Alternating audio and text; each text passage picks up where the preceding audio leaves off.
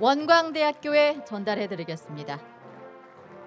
어, 학생 진로 지도와 아, 사회 수요에 맞는 전공 능력을 키워서 어, 인력 미스매치를 해소하는 데까지 그 역할이 매우 어, 중요합니다.